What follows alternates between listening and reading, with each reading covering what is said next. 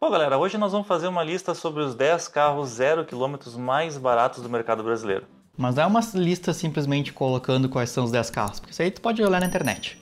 É, hoje nós vamos fazer um comparativo entre eles e ver o que, que realmente está valendo a pena comprar ou não, né?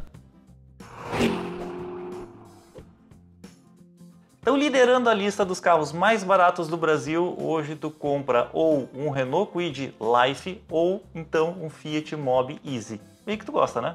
Não, não gosto. Cara, São os únicos dois carros na faixa dos 30 mil reais. pois é. E na verdade são dois carros que eu acho que nem deveriam existir no catálogo de uma montadora. Por quê? Porque É. eles não têm o mínimo de conforto necessário para a gente andar no Brasil hoje. Não o carro em si, mas essa, essa versão especificamente. Pois é, eles não têm ar-condicionado, não tem direção assistida, nem hidráulica, nem elétrica, não tem vidro elétrico. Ele mal vem com banco e espelho só porque a legislação manda, né? Quatro rodas vem. Ah, eu acho que sim, né? Uma quinta, talvez. Mas acho que antes de partir para os próximos carros da lista, vale a pena a gente falar sobre o Kwid e o Mob. Para quem que serve esse tipo de carro? Cara, o Kwid deu muito problema no lançamento. Todo mundo lembra aí dos carros com problemas nos freios, suspensão e mais um monte de outras coisas que aconteceram que só não queimaram mais a imagem do carro porque o Onix bateu esse recorde no ano passado, né? É verdade. E o Mob, ele é um carro que não deu problema, pelo menos isso, ele não estraga, mas ele tem um problema muito sério, ele é muito pequeno. Para tudo levar bagagem, para tu viajar, ele é praticamente inviável. Ele é um carro extremamente urbano. Sim, basicamente assim, o Kwid é um carro super, uma construção muito simples e que não, não me parece um carro muito durável para daqui anos. E definitivamente não é, porque tem vários proprietários reclamando exatamente disso. E o Mob é um Uno com um porta-malas men- menor. Para quem que serve o Mob, realmente tem uma inscrita aqui do canal que falou que na garagem dela só cabe o Mob pelo tamanho do carro. Então, Na verdade era o Mob ou o QQ. Ainda bem que ela escolheu o Mob. ainda bem que você escolheu o Mob. Mas aí, se tu quiser o mínimo de conforto, se tu quiser ag- agregar pelo menos a direção assistida e o ar-condicionado, tu paga R$ 40.990 no caso do Kwid Zen e R$ 41.990 no caso do Mob Like. É, Felipe, eu acho que no mínimo a gente tem que ter esses equipamentos. Isso é o mínimo. Hoje em dia já não dá nem para pensar em comprar um carro sem isso, né? E aí eu vou dizer mais. Eu acho que eh, agora a gente começa a entrar numa faixa em que fica muito tentador comprar um carro usado, né, Gustavo? E aí vem aquela grande questão. Se tu vai comprar um carro usado, não esqueça de consultar a placa dele na empresa olho no carro.com.br. Ele vai te dar um histórico completo e tu não vai levar furada para casa. Por exemplo, tu vai descobrir se o carro não é de leilão, se ele não sofreu algum sinistro, se não tem pendência judicial ou pendência financeira. E ainda usando o nosso cupom Opinião Sincera, tu ganha 15% de desconto nos serviços deles, que já são bem em conta, perto do benefício que tu vai ter. E eu digo pra vocês, um usado nessa faixa de preço é bem melhor do que esses zeros aí. Mas a gente está falando de carro zero, então vamos seguir a nossa lista, né? Mas seguindo essa lista, vamos para o Uno que tu já tinha citado anteriormente, que é um carro que hoje está sendo vendido na versão de entrada por 44.990 mil reais. Que é a versão Attract que já vem com ar-condicionado, direção hidráulica, vidros, travas e as coisas que são obrigatórias por lei, né? ABS e airbag. E principalmente espaço para colocar um pouquinho de bagagem no porta-malas, né? Eu acho que o Uno é uma opção muito mais inteligente do que o Mob, por quê? Porque ele não é tão maior assim. Claro, caso tua garagem seja muito pequena, como é o caso dessa nossa amiga aí, aí realmente não tem muita salvação, mas se tu puder, compra o Uno, porque o Uno ele, ele é mais versátil, né? E ele também é um carro que está mais tempo no mercado e tudo mais, apesar de que a gente sabe que isso pode ser ruim, porque pode ser que ele saia de linha, mas ele vende mais que o Mob, eu acho. Ele só não vende mais porque o Mob é muito barato mesmo. E aqui eu acho que vale citar que a Fiat fez um downgrade no motor do, do Uno. É, eles estão. Inclusive no Mob também, né? Mob o Mob também. tinha a versão 3 cilindros, 1.0, que era o motor Firefly, que era o motor Tribon, e eles resolveram trazer o motor mais barato, que era o 1.0, 4 cilindros, chamado de Evo, que é um motor. Que é o Fire, antigo Fire com um pouco mais de potência. É, mas é ruinzinho, né? É, já passou, já deu a época dele, já. Não, nunca foi muito econômico e nem muito potente. E a gente fez essa lista baseado no que está no site das montadoras. O Sandero Life, que seria a primeira versão de entrada do Renault, que eu acho muito mais inteligente do que o Kwid, por quê? Porque ele é mais espaçoso, ele é mais resistente, ele tem peças de melhor qualidade, apesar do acabamento ser tão ruinzinho quanto, né? É, mas pelo menos o porta-mala tem 320 litros, é o maior porta-malas da categoria hatch, né? O Sandero Life hoje está anunciado no site a 48.290 reais.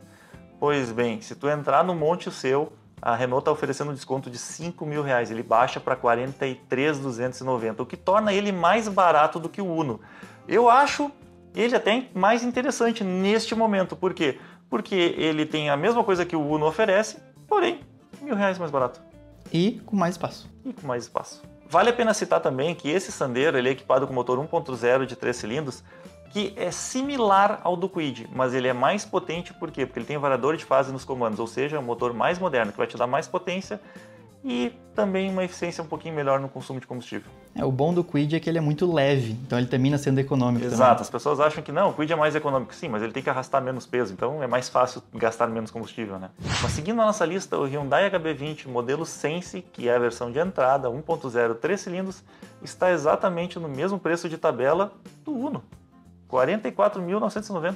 E já é a versão, já é o modelo novo, né? Já é o modelo Pois é, 2020, cara. com aquela frente controversa, né? Mas já é o modelo novo, enquanto, enquanto que o Uno é um modelo já mais ultrapassado.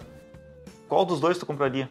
Com certeza. E olha que eu sou fieteiro, como o pessoal fala, mas com certeza eu compraria o HB20. Como eu queria ter visto essa cena antes, cara. O fieteiro dizendo que não compra um Uno e vai comprar um HB20. E eu concordo plenamente contigo. Os materiais empregados são melhores, o carro em si é mais acertado, é um projeto mais moderno. Vale mais a pena, né? E é um motor 3 cilindros muito bom também. Mas falando em motor 3 cilindros, a gente não pode deixar de citar o Ford K modelo S, ou seja, o de entrada. Está tabelado hoje a 46.680 no site da Ford.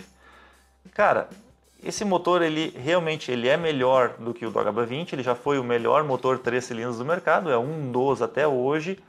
O K é um carro que vende super bem, está sempre lá brigando pelo segundo, terceiro colocado nas vendas totais.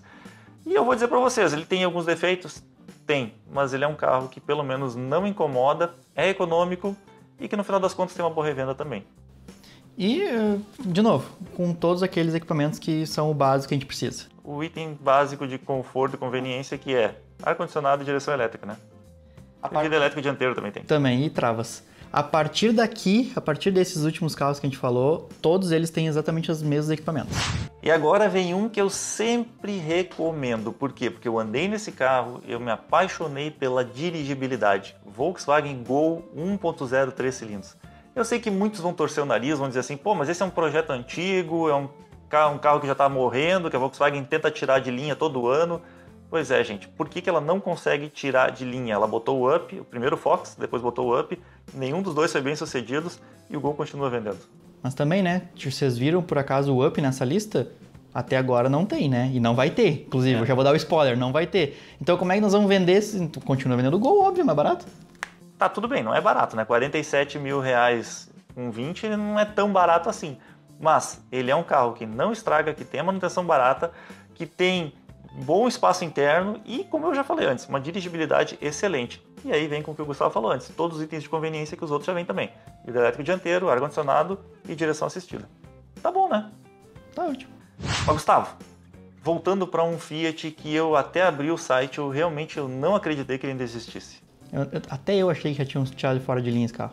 Pois é, o Gran Siena ele é anunciado na versão Attractive 1.0, 1.0, é motor Evo, 4 cilindros, a 47.990. Como é que vende um negócio desse ainda? Cara, acho que é porque o porta-malas é grande. Só por isso. É, definitivamente é o primeiro sedã com um espaço amplo, né? São 520 litros de porta-malas. A gente já mostrou o carro, sabe que ele é realmente diferenciado por dentro, né? Ele não é exatamente um carro simples. E está figurando na nossa lista dos 10 mais baratos, então realmente ele merece pelo menos um, um voto de confiança aqui, né? É, se precisa de muito porta-mala, é esse carro aí o correto. Tu não compra nada mais barato que isso. Agora, o carro que mais vende no Brasil. Tá caro, né? Tá caro. 48.690 reais tu leva um Onix Joy. Não é a versão nova, não é aquela que tem motor turbo, aquela que tem cinco estrelas. É o quase bateu, morreu aí, né? Agora, na verdade, Felipe, é só Joy. Ah, é. Esquece Verdade. o nome. Não é mais Onix. A GM resolveu tirar ele do nome. Bom, o que, que ele tem de diferencial? Motor 4 cilindros, 1.0, câmbio de 6 marchas e vem com os mesmos itens de conforto dos outros. Vidro elétrico, direção elétrica e ar-condicionado. Eu acho que o maior diferencial desse carro é ter sido o mais vendido dos últimos anos. Não é só isso. Ele é o mais vendido nos últimos anos, ele tem a manutenção mais barata e ele é absurdamente confiável. Ele não estraga. E quando estraga, é extremamente fácil e barato de arrumar. Tu chuta uma pedra e tu encontra as peças dele em qualquer lugar. Ou seja, é um carro que vale a pena recomendar? Sim, vale. Apesar de eu achar que está caro, cara, depois tu não te incomoda durante muito tempo. Então é melhor tu pagar aí, sei lá, quase 10 mil a mais do que um Quid mas pelo menos tu leva para casa uma coisa que não vai te deixar na mão, né? Nunca. E só que a Chevrolet não conseguiu fazer o que a o que a Hyundai fez, né? Que a Chevrolet continua manteve o Joy por uma estratégia e a, HB, e a Hyundai não fez isso. A, a, a, Hyundai lançou o HB20 novo, mas não deixou o modelo antigo ainda, né? Não é que ela não, não conseguiu, né, não Gustavo? Quis, ela é, não quis, um... porque para eles é muito mais fácil tu vender um carro que já está com um projeto totalmente pago mais caro, ele é 4 mil reais mais caro que o HB20 de entrada, quase 4 mil, né? E ainda assim, a margem de lucro deles lá na estratosfera. Sendo que esse é o carro mais vendido para locadoras. E para finalizar esse vídeo com chave de ouro, nós vamos falar de outro Fiat, o Fiat Argo 1.0. Bom, o preço de tabela dele 48.990 e vem com aquelas mesmas coisas que a gente falou nos outros. Porém, se tu clicar no site, no ofertas Fiat, tem uma dica excelente para ti.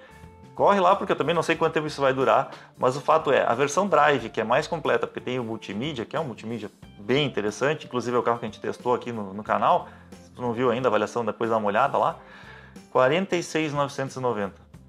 Cara, ou seja, ele tem mais equipamentos e está mais barato do que a versão de entrada. Esse está valendo muito a pena. Mas como diz o Gustavo, pode ser que tu chegue na concessionária e tu não consiga esta oferta, né? Mas quando tem no site, tu tem que ir atrás dos teus direitos. E vocês podem ver que a Fiat está sempre figurando lá como o, no montante geral, sempre vendendo muito bem os carros. E por quê? Porque vocês podem ver que nós temos aí quantos? Cinco carros na lista dos 10 são Fiat. É que a Fiat ela está trabalhando no nicho que hoje deu certo para ela no Brasil. Carro barato, né? Carro barato, porque os carros caros realmente os eles não se deram bem. Premiums, os carros de luxo não vingaram aqui no Brasil. Todos eles deram problema, sem exceção. Tipo o quê? Tempra, Maré, o Linha. Linha, é. Então realmente deixa a Fiat nos carrinhos simples. Bom, galera, eu espero que vocês tenham gostado desse vídeo, espero que a gente tenha conseguido ajudar vocês com alguma coisa, mas o fato é, hoje, se tu olhar os preços dos carros zero quilômetros, tá muito tentador comprar um carro usado. Tanto que eu comprei um carro usado e o Gustavo nunca acho comprou um carro zero. Nunca comprei um carro zero. Mas aqui, ó, os de 30 mil reais, Esqueçam, é a partir carro zero para mim hoje o mais barato, quanto que é? Não, os que valem a pena é, são a partir de 42, 41 mil reais. 41 mil reais. É. é. isso aí. Os de 30 e poucos, esqueçam. Vale a pena não, né? Na verdade, o que oferece o mínimo para tu não morrer de calor dentro do carro. É, verdade. Valeu, galera. Valeu, pessoal. Bah, sério que tu aguentou até aqui? Então, tia, não esquece de te inscrever no nosso canal. Também pode dar uma olhada no Contabilidade TV, que é um canal parceiro nosso que coloca vídeos todos os dias. E também não esquece de entrar na nossa página no Facebook e no Instagram, porque lá a gente vai antecipar tudo que a gente está inventando por aí.